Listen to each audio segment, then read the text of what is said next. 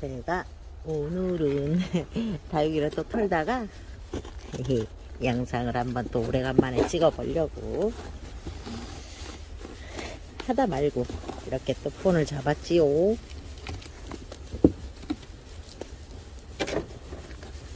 만타라라는 작년에 출시된 아이 같아요. 음, 둥근잎이 지오리대 모양이 나오고 입장은 그 애보다 좀 크고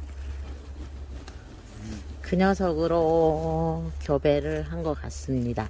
둥근잎이 지오리대 모양은 딱 둥근잎이 지오리대 얼큰이 색감은 색감도 어디서 낯이 익어요. 어느 프릴종 아이하고 함께 결혼을 시켰나 봐요.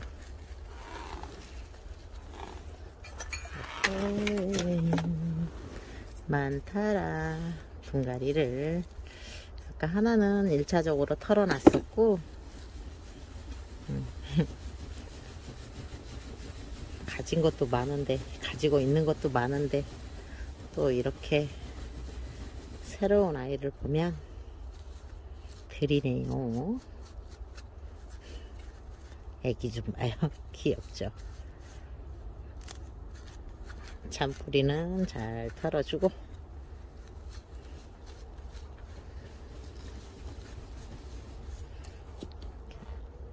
음 향기가 약초 향기가 나요. 이 향 되게 좋아해요. 음, 아까 털어놨던 거. 화분도 제가 그냥 가지고 있는 화분에 심을 겁니다. 양이분 초보 때 구매했던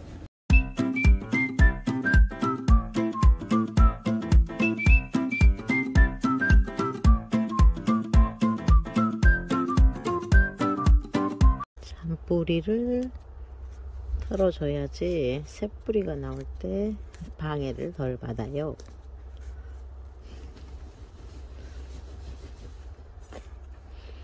애기들 잘 키우라고 넉넉한 화분에 심어줍니다. 태어날 아기들을 위해서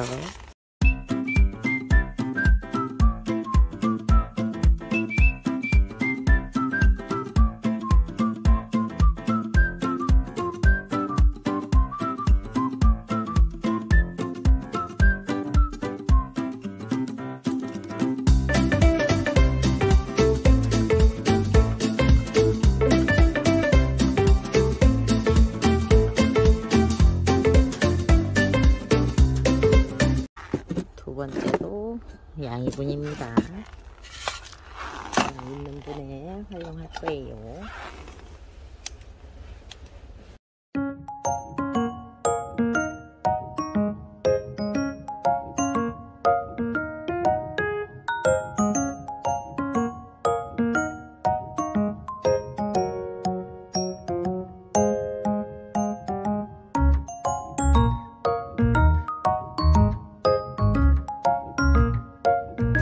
이렇게 돌려가면서 마사를 북토를 해주고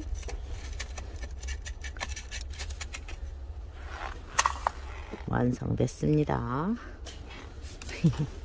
이렇게 식재를 마친 만타라 두 점입니다. 이게 아까는 제가 식재할 때 긴가민가 했는데 오팔문이라는 다육이가 있어요. 입장 넓은 저도 하나 가지고 있는데 그 녀석 얼굴하고 둥근잎이 지우리대 얼굴이 보입니다. 색감이 딱 뒤창은 오팔문. 제가 오팔문 가지고 있는 거 보여드려 볼게요.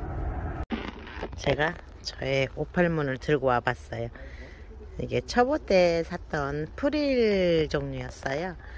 근데 제가 목을 눌러서 심었거든요. 어느 순간 목대만 쭉 올라와서. 근데 제가 이 녀석을 볼때 오팔문 이 녀석이 생각이 났어요. 이렇게 해서 제가 분갈이 두 개를 마쳤습니다. 만타라라는 녀석입니다.